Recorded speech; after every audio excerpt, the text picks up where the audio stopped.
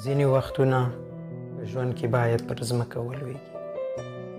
تر څو وګوري څوک درته لاس درکوي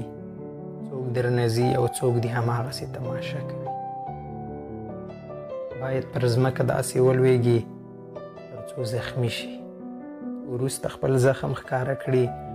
وګوري چې څوک درته پې مالګه دوړوي څوک درته پې مرهم وهي څو چې زخمی نشي نشي پوهېدلی چې خلک له تا سره کوم رنګه چلند کوي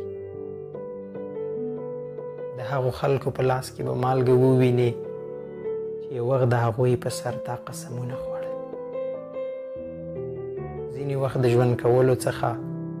پر ځمکه لوېدل مهم دي تر څو پوه شي